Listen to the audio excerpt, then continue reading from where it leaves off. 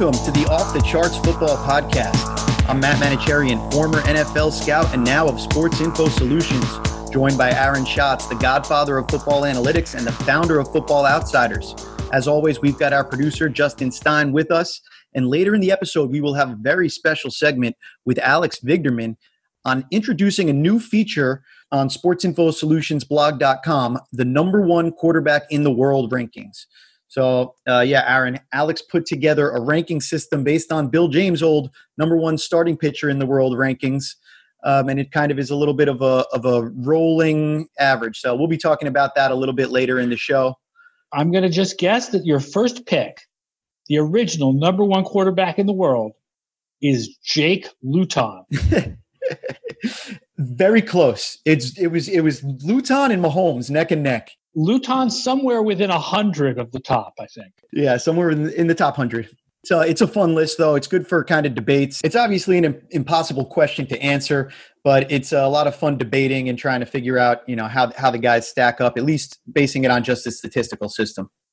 I don't think Kansas City fans think it's a very impossible question to answer. I think they think it's a very easy question to answer. Yeah, I, I, guess maybe I don't disagree with them. I was happy to see that the the rankings, which we didn't try to gerrymander or rig too much. Oh, terrible choice of words. Um, the results were came out Mahomes very very cleanly. So those Kansas City fans will agree with me on that one. All right, let's get into the most important games of the week, though, um, because we just got to talk about some football today. So by far, you said there was a number one most important game of the week. I don't think it'll be a shock to anybody, but what do you got? Oh yeah, this game has such implications for the who makes the Super Bowl this year, given how strong both of these teams are. Uh, Sunday night football, New Orleans at Tampa Bay is just huge. Uh, when New Orleans wins, they make the Super Bowl 25% of the time, 13% if they lose. Tampa Bay makes it 37% of the time if they win, 23% if they lose. So this is just a gigantic game for two of the biggest Super Bowl contenders with the two oldest quarterbacks in the league. It should be a fascinating contest. Yeah, it should be a really interesting game. I think it was two of, if not the only two, maybe two of the three teams in the league that are top 10 on offense and defense in DVOA. Yes. And you know what else can you ask for with Brady and Brees, the forty-year-olds competing for the driver's seat in the NFC South, as you mentioned? Yeah, absolutely. And not the driver's seat in the whole NFC because of Seattle or, and Green Bay, obviously doing pretty well too, but a pretty good driver's seat. You know, it's obviously important to have a home game rather than be a wild card and have to go on the road. But this game also just tells us a lot about how good these teams are and which team is better than the other. And I think the biggest problem for New Orleans is their coverage this year. They've been dismal covering wide receivers. They're number 29 against number one receivers, 32nd against number twos, and 26th against what we call other receivers. So they excel at covering running backs and tight ends. They excel at getting to the quarterback, where they're fourth in adjusted sack rate, and they're fourth against the run. But you can pass on them to their wide receivers, and uh, Tampa Bay has got some wide receivers. Chris Godwin probably is not coming back for this game, but guess who is? Antonio Brown. Unbelievable. And, uh, I, you know, I was looking at it exactly the same. The Saints have been the second to worst team in man to man coverage so far this year. So that's out of cover zero, cover one, and two man. They're only better than the Titans, who have just traded away or waiver wired their whole secondary um, to try to rebuild that. So I looked at that and I see the Bucs, meanwhile, have fared very well against man coverage. You know, with all those weapons, of course they're a team that's going to fare well against man, but they have been relatively middling against zone. So the one of the interesting matchups that I'm looking for here is to see if Dennis Allen will sit in a lot of zone coverages, kind of trying to sort of bend but don't break, um, and create turnovers. Uh, rather than embrace what the Bucs do well and what the Saints do poorly by playing a lot of man coverage. I think if that's the case, as as unfortunate as it might be for people looking for a Brady Brees shootout, it could become a run game, a running game uh, type battle where if you're sitting back in zone, whoever can control the line of scrimmage against seven men in the box might have the strategic upper hand. Well, both of these are really good run defenses, though. So that's a running running game day may not be the offensive shootout that people want out of this game. You mentioned a little bit earlier that the uh, winner of this game is going to be uh, much more likely to have a home playoff game, and I thought that was a really great point, especially when looking at Drew Brees and how the the Saints' offense performed last week in Chicago. Uh, they got the win, but it was it was rough. We talked a lot about how it could be Alvin Kamara centric, and Alvin Kamara might as well have been the sun in the solar system for this game on the Saints' offense. But the battle with Roquan Smith did not let down, and this week it's Lavonte David and Devin White that Kamara has to has to deal with. So there's two of them that are kind of right there in the same in the same sort of stratosphere as Roquan Smith. I think it's another one that should just be an awesome matchup. Yeah, if the Bucs have a weakness on defense, it might be covering tight ends. They're 19th. That's not really bad. That's like average, but it's like the worst thing they do on defense. So I don't know if maybe this is a big Jared Cook day. Could be Jared Cook day. Also, uh, you know, Brees, we talked about the struggles last week. Part of that's also three, the three top receivers being injured. We only knew two of them were going to be out when we talked last week. Three of them were out. It looks like three of them are going to be back. So, you know, they'll be facing against a Bucs defense that's been a really heavy zone coverage scheme defense this year. And I'm curious to just see if, if having those guys back, like you mentioned, having Jared Cook, obviously Kamara is going to be a big part, although he's had a little bit of a health issue too. But um, the Saints have played pretty well against zone this year. Not great, but not terrible. 28 expected points added, 74% completions, and 7.6 yards per attempt. So going against this zone, having those guys back will be huge for them. But I really do think Coach Payton's going to have to have something up his sleeve because the defense of the Bucs has so much speed, and they want to sit in zone. And Drew Brees, especially outdoors, even in Tampa, especially outdoors, has a hard time taking the top off the defense in this point in his career. He's on the injury list with his shoulder this week, although, you know, they say it's routine maintenance. I'm really curious to see what the Saints can do, what what sort of cleverness they can have in order to find a way to kind of break apart that zone. Because with all that team speed and the lack of a vertical stretch, that, that's a tough that's a tough matchup. Yeah, I mean, listen, what the Saints have been doing all year is what the Saints do, which is they just kill you with these constant five and six and seven yard passes. Right.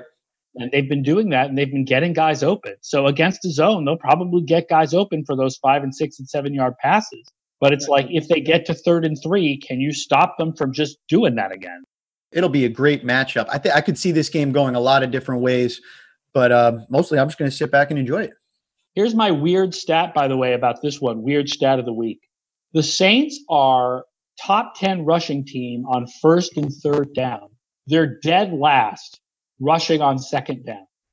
I always wonder what that means. Whenever there's a weird second down split, I always wonder, is there something about second down that makes it like particularly different from first down that those splits represent something real or is it just random variation?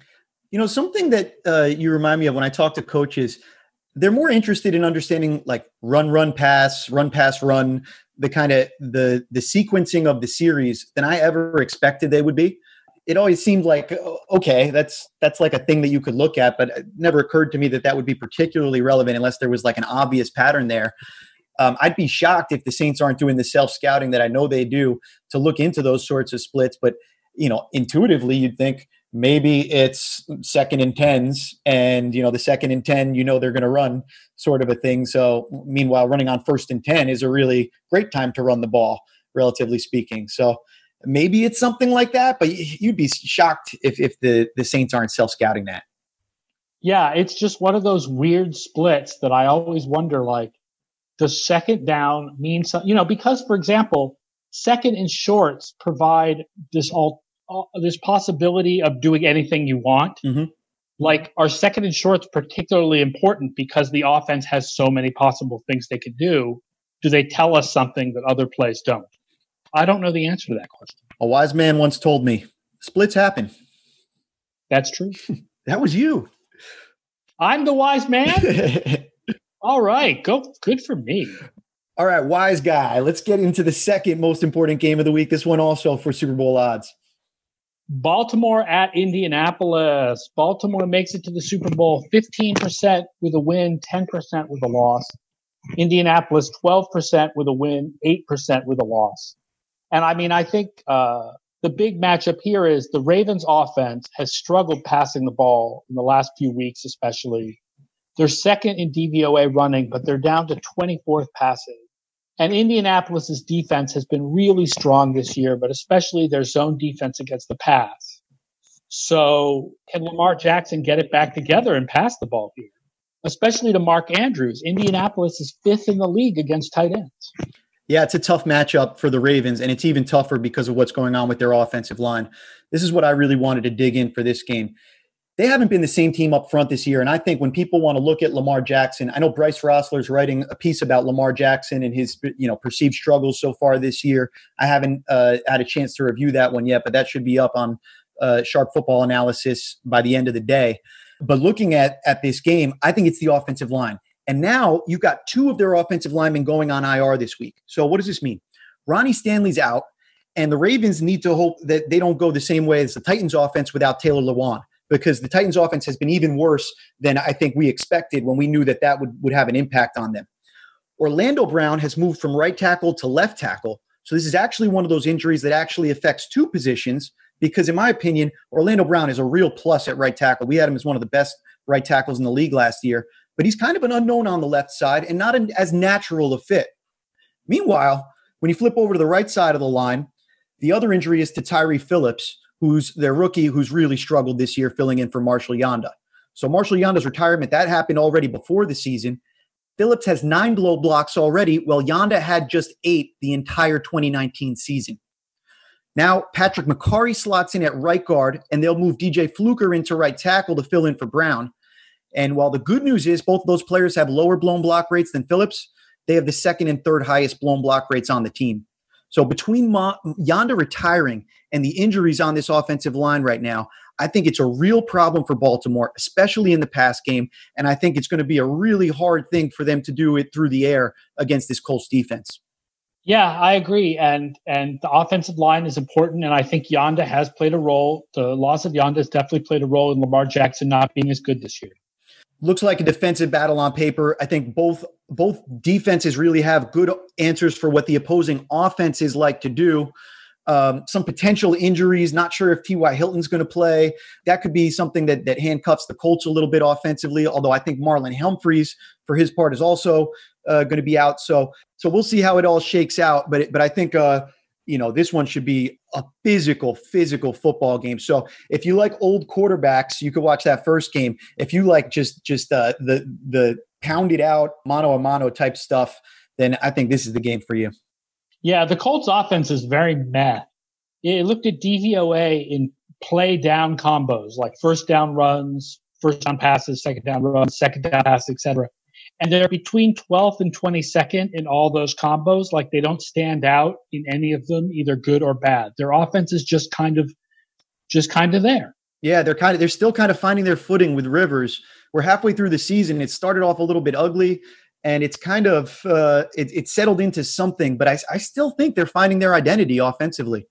Yeah, I mean, throws to Nyheim Hines, throws to the run, running backs. It's a big part of their identity. Uh, that's actually what Film Room is about on Football Outsiders this week. Is about the Colts throwing to their running backs. Uh, the receivers have not been what we expected. Michael Pittman being injured, Parris Campbell being injured, now T.Y. Hilton being injured. So, yeah, that that always makes it more difficult. All right, let's keep it moving and let's talk about the biggest games for playoff odds. So this surprised me that this came out as the biggest playoff odds game because one of these teams does not have a good chance at the playoffs but their season is basically over if they lose this game. And that's the Los Angeles football Clippers, also known as the Chargers. So Las Vegas at the Chargers. Chargers make the playoffs 22% if they win, 5% if they lose, but it's more important for Vegas 55% if they win, 28% if they lose. And you were talking about, you know, we're going to do a segment on the number one quarterback in the world. Derek Carr, shockingly good this year. So the Raiders are 27th running the ball and 31st defending the ball, but eighth passing the ball. Yeah, shockingly, he is he slots in at number four. Um, the biggest surprise on our on our yeah, not to steal Alex's thunder, but I mean, I I have Derek Carr rated well. You guys have Derek Carr rated really well. Yeah, and he was really efficient last year. Everybody knows that he liked to dink and dunk, but they've got some more vertical now going on that team, and they've been really good. Raise your hand if you had Nelson Agholor as the breakout vertical receiver of the year. so bizarre. And I didn't have it when he did it in like 2017 either. Like he's had what's with talk about manic? He's been great seasons and and just drop city. Um, so, but uh, on the on the Raiders front, based on all they were doing offensively, we thought Raiders Browns was going to be a high scoring game. And the way that actually shakes out, 45 mile an hour wins. There were only 13 total possessions in that game. Has DVOA ever seen anything like that?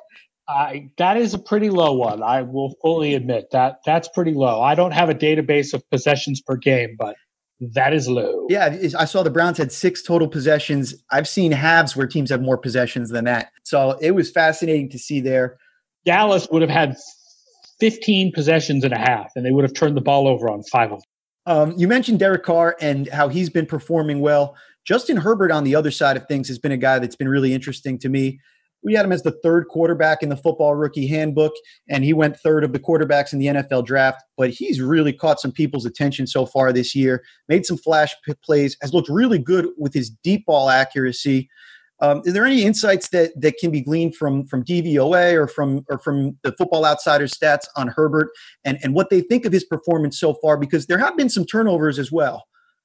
Yeah, the Chargers offense is dramatically slanted towards the pass. They're seventh passing the ball, 26th running the ball. So, I mean, I agree with you. Herbert's been great. I think there's a little bit of an Alvin Kamara effect in that it's making us look at his college coaches and going, how come they couldn't do this with him?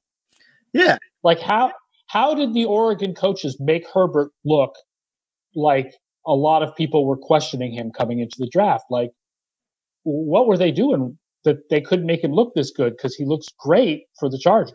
We were watching uh, in scout school last night. Uh, you know, with all the video scouts, we do we do traditional scout school where where I go through all the different things that that we do inside the league scouting, and uh, we were looking at an Auburn receiver. And you know, it's one of these typical Auburn offenses that just doesn't know the left hand from the right hand, what they're doing. There's no plan. There's no real usage for anybody, uh, and the quarterback is very limiting. And the guys are asking me, you know, how come we're watching a receiver and they're saying, you know, when it when a team doesn't want to really get the ball to a player this much, is that something that you look at as a scout? And I said, yeah, it's something that I look at as a scout. I, I want players whose coaches want the ball in their hands, but at the same time, everybody was burned by Alvin Kamara on that one. I know. Usually, usage is a really good guidance. Usually, especially running backs, usage is a really good guidance for who the best player really is but there are times where it's not and guys get used badly. I mean, another one is why wasn't there more DK Metcalf? The, I mean, I guess partly because he had to share with AJ Brown. Some share, some injury, but but yeah, also you know lack of quarterback play.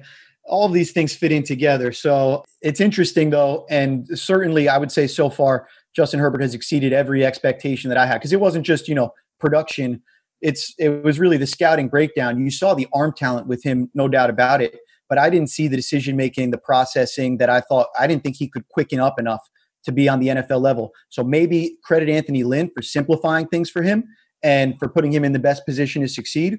Or maybe um, he's just better than than we thought he was. I mean, they're definitely not doing that thing.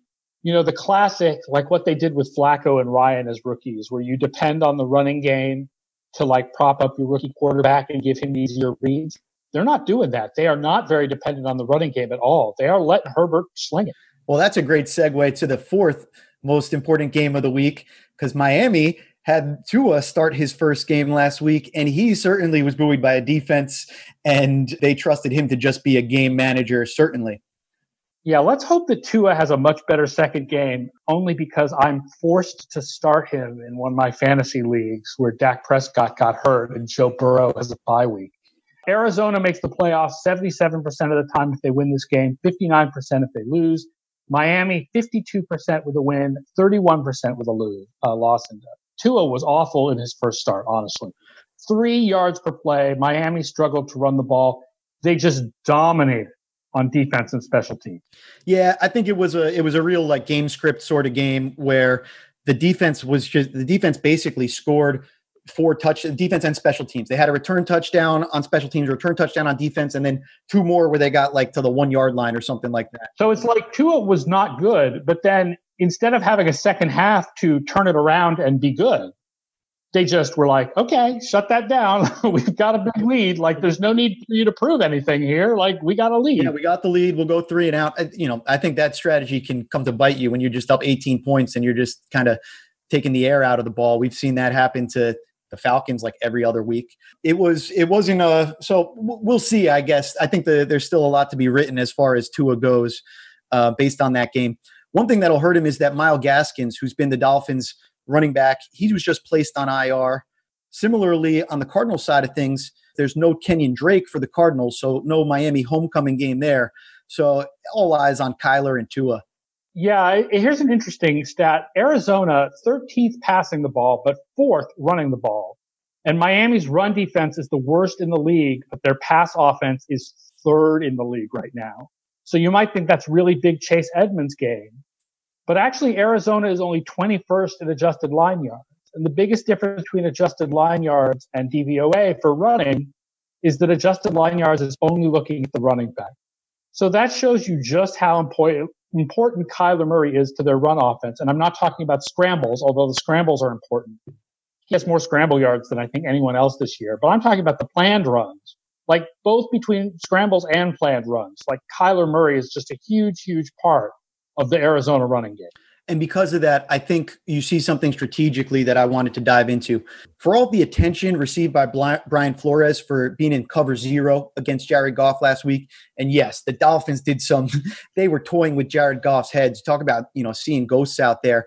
Brian Flores absolutely has Jared Goff's number.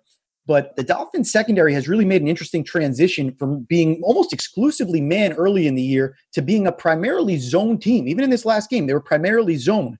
And opponents have negative 38 expected points added against that Dolphin zone so far this year. That's the lowest total in the NFL. Now, tying back to what you were just saying, I think this bodes well for them against Arizona because Arizona sees almost exclusively zone coverage because of teams looking to keep eyes on Kyler in the run game. So I think that matchup might play into Miami's hands in that Miami has sort of become a team that wants to be a little bit more of a zone team. And I think when you play against the Cardinals, that almost has to be your MO because of what Kyler, you know, you can't spy the guy. You need to keep eyes on him. Although zone, I wonder, are you asking for death by a thousand DeAndre Hopkins cuts? that is certainly possible. The Cardinals, meanwhile, for their part, they lead the NFL in man coverage snaps so by the same token, you know, Tua's got some mobility himself. I wonder if he can use his mobility to kind of break their man coverage a little bit and potentially force the Cardinals into more zone looks, which is what they don't want to do as much. So there might be something there. Yeah, Arizona's pass defense this is also interesting. Second in the league against deep passes, that's 16 or more air yards, but 24 against short passes, that's anything up till 15 air yards. So uh, Tua may be better off not looking for the big shot, but going short, hitting a lot of these 11, 12 yard type slants to DeVante Parker. It'll be a fun matchup to watch. For we talked about Brees and Brady. I'm even more excited about Kyler and Tua. Yes, as uh, UniWatch has pointed out, the website UniWatch, this looks like it is the first matchup in NFL history between two quarterbacks wearing the number one. Interesting. I thought you were going to say like below six feet tall or something like. who are also below six feet tall and young. is Tua below six feet tall? I don't think he is actually. I think he, no, I think he's like a little taller. All right, we'll look forward to it. We'll take a quick break and then we'll come back in with that number one QB in the world segment that we teased. SISBets.com is back for 2020, and if you didn't make use of it last year, you missed out on easy money. SISBets.com is an advanced prop betting information tool powered by Sports Info Solutions. With it, you can leverage the power of our proven projections models to find value against the odds. You're never more than a few clicks away from knowing whether your favorite wide receiver is likely to score a touchdown this week or whether a quarterback that you have your eye on is likely to go over or under his completions prop. Just choose the bet type, the player, and the money line to see the SIS Bets recommendation. SISBets.com is available for just $9.99 per month, so it easily pays for itself, and that price covers both football and baseball. That means you can also take advantage of our most popular bet type, home run projections, which our users rode to a very solid 12% ROI in 2019. Sign up at SISBets.com. All right, up next, we have a very special treat. Alex Vigderman is our lead football researcher. He also does plenty of great work on the baseball side, and he has developed a new rankings list that we want to get into a little bit here. So, Alex, what is the ranking and where did it come from? Sure. So, we're calling it the world's best quarterback ranking. And this is in line with something that Bill James came up with and has had for a long time on the baseball side of things in terms of the world's number one starting pitcher. Uh, it's maintained on Bill James Online, and, and we sort of control the code for that. And what it basically does is it allows us to get a ranking of all of the starting pitchers over time. And a player, you know, jumps in at the bottom of the ranking or at some flat number, and then as he accumulates playing time and performs well or poorly, he moves up and down the ranking. And essentially, it allows us to get a longer time scale version of evaluating who are the best pitchers at this moment in time. We wanted to take that idea and move it to quarterbacks. And you know, the underlying structure obviously has to be different because we're using different stats and all that kind of stuff, but also the fact that we're really only talking about a few dozen quarterbacks who are relevant at any given point in time compared to uh, you know several starting pitchers per team in Major League Baseball. The considerations have to be a little bit different. Obviously, also only having 16 games is in a season is a little bit different. Um, but we wanted to essentially use what we have as a way of evaluating players using total points and turning that into a ranking system that is a little bit obviously the good players are going to look good, bad players are going to look bad, but having a little bit of an understanding of how we should take into account performance from multiple seasons ago, recent performance, and how we should weight those, uh, making sure to consider that as well. One thing that I love about kind of working at SIS, many of our best ideas, I think, do come from paying attention to what Bill James has done in baseball, what, what what's been done in other sports, and I love that Mark Simon came out and said, "Hey, we've got this best starting pitcher ranking. Can we make something for for QBs?" You talked a little bit about the sort of uh, the challenges that you face going from a, a best pitcher, a best you know best pitcher in the world ranking to something that's obviously a different sport what were the key decisions that you felt like you had to make when you were putting this together and, and creating the system? I, I know the Bill James system is pretty rough on pitchers that are injured or don't perform for whatever reason for a while. So that kind of inactivity is a weird question we don't usually answer.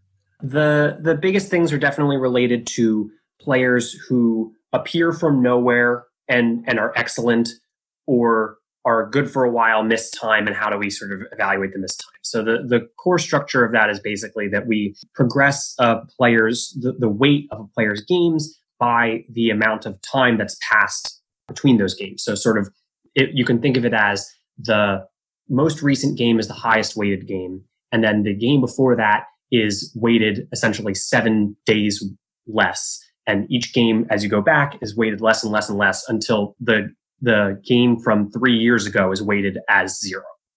And so we essentially use a smooth distribution of weights from three years ago to the present with a little bit of an exponential aspect in there. So the, the most recent game is more relevant compared to the game before that than two previous games are. Makes sense. Uh, you know, if you think about it, it's kind of two offsetting things, like two offsetting effects happening the most the most recent game's the most important so you get kind of that that recency effect but also because the list goes goes back and considers things that happened seasons ago there's also a stubbornness for the rankings to move even even with that that weighting of the most recent game yeah and we combine the stubbornness concept with essentially any game that a player misses that wasn't just because their schedule made it so that they don't you know their team doesn't have a game any game that you actually miss whether it's by injury or being benched or whatever you're sort of treated as a replacement level player for any of those games. So for a game or two, that's not going to make much of a difference, especially when we're talking about as big of a time scale as we're looking at.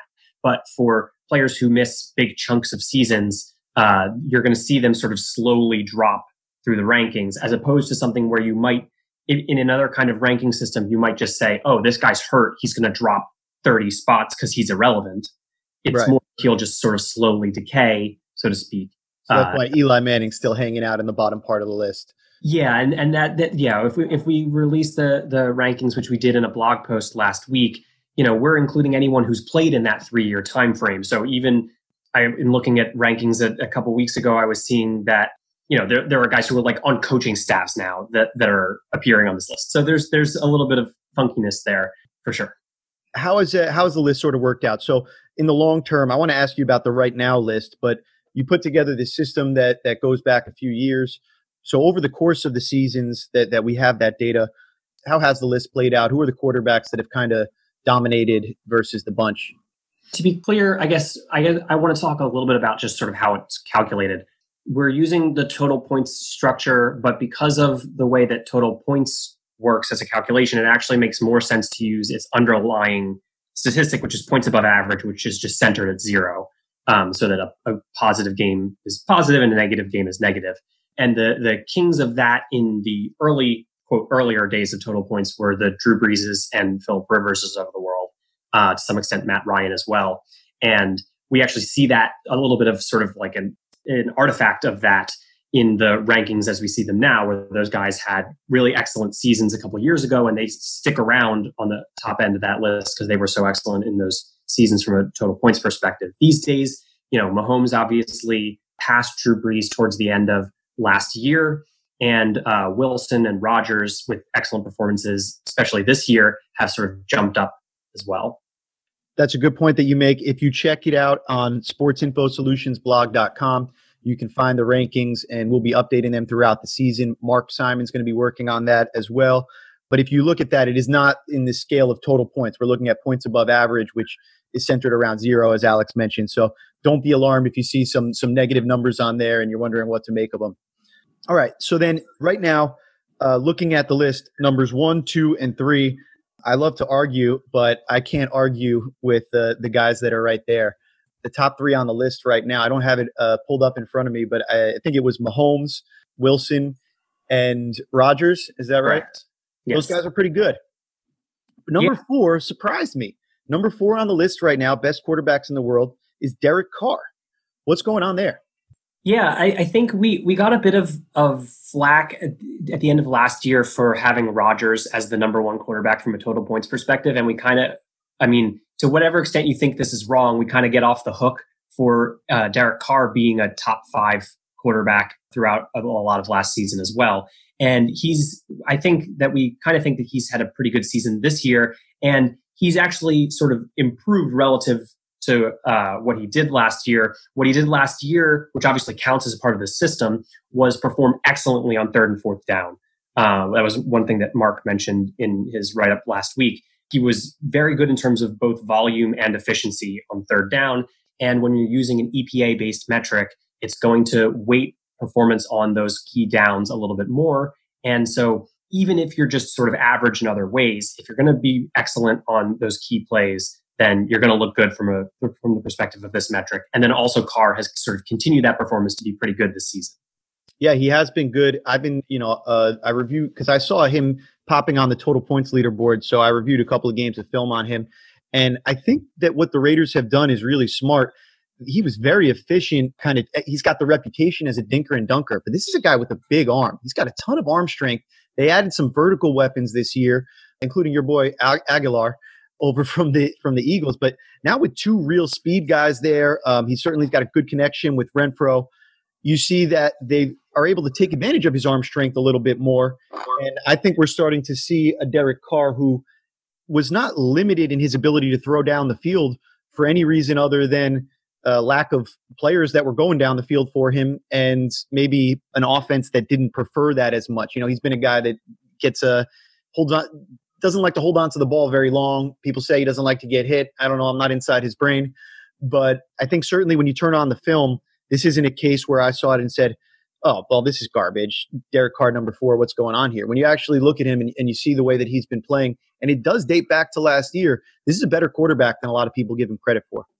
Yeah, and, and you know, who could blame him for being a little bit quick triggered considering he has a family history of getting destroyed from a sack perspective. So he could he could be forgiven, I guess, for getting the ball out a little faster just because of what happened to his brother. Yeah, it's like uh, when you hear about like trauma b- being passed along through generations of families. Like I, you know, I didn't have to be alive during that horrible historical era, but I feel the scars of my ancestors.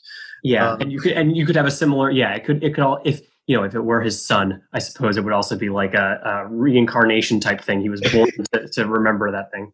Um, I'm still interested in the the alternate history of, of David Carr and what happens, you know, I think there are a bunch of quarterbacks that we could look at and say, man, if you went to a different situation, you would have had a really different career. All right. Last up, I want to I want to pick on a couple guys that are not in the top ten that were a little bit further down, and I want to hear uh, what's what you make of of what the list is doing with Lamar Jackson and Big Ben Roethlisberger, those two AFC North quarterbacks on really good teams. How come those guys couldn't crack the top ten? Sure. So I guess we'll talk about Roethlisberger first as a sort of elder statesman, so to speak. You might not be surprised to find out that in 2018 he was in the sort of back end of the top 10 type area, uh, in the six to eight range for for a lot of the the back end of the 2018 season, and then he starts 2019, doesn't necessarily have the uh, best start to the season, and then misses the rest of the season with injury. And with a system like this, he's going to drop slowly over time. So as I'm looking at the list, he ends up at 14 ranked before he gets hurt, or the you know the game he gets hurt, and then he sort of slips and slips and slips, and ends up in the 30s by the start of this season, and then he's been up and down to some extent. He's had pretty uh, good performance from his playmakers, which has sort of buoyed his performance. Obviously, the, de- the defense is also excellent, so the team performance around him has been a lot better as well, and he's been fine, and he's sort of moved up into the the low to mid 20s but to some extent that big you know that big chunk of time that you're missing is going to definitely affect your rankings. In terms of lamar he's an odd case because when he originally you know when he first was getting integrated into the ravens offense he wasn't even the starting quarterback. He was just getting a, a package here or there. From the perspective of our system we're kind of ignoring performances like that. And uh, we think that that especially because you're likely to get a big play here a big play there because of the, the play design, guys who only make a couple appearances in a game, we're not really too worried about. Sorry, but, Taysom Hill. Yeah, exactly. But once he started playing in 2018, even then, because total points takes into account things like fumbles, he had a lot of fumbles, even if he recovered a, you know a decent amount of them.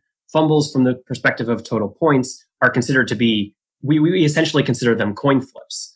And so we don't care if you lose or, or recover the fumble, we do care that you fumble.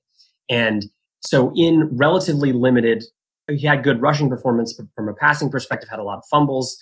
And that sort of kept him down during that rookie campaign so that when he has the outstanding MVP level campaign, he's starting from a low enough level that he just couldn't quite get, he only got into the top 10 at the very end of, of last season.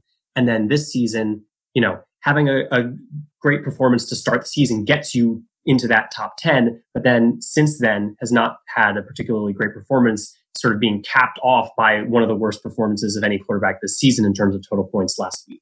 Well, one thing that I'll tease out as we finish up here is that I know there's an update you've been working on to total points that specifically addresses the run game.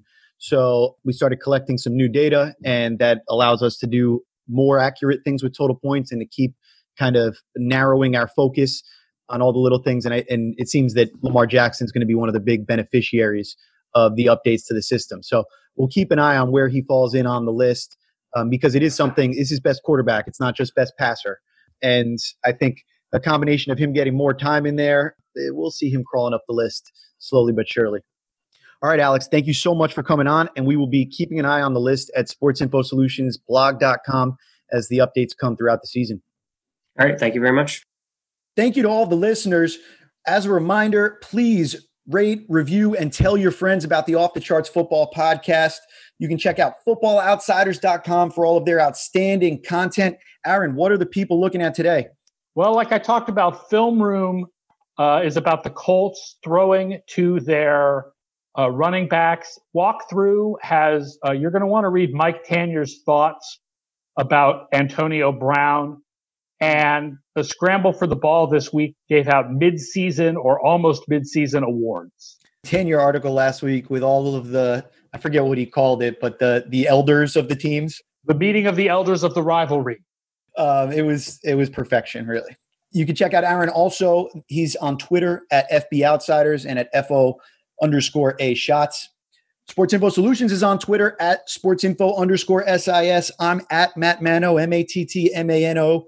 And as a reminder, you can check out the free SIS Data Hub by checking out sisdatahub.com. You can see the advanced stats there, total points, blown blocks, all that fun stuff. For my co host, Aaron Schatz, and our producer, Justin Stein, I'm Matt Manocherian, and thank you for joining us for the latest episode of the Off the Charts Football Podcast.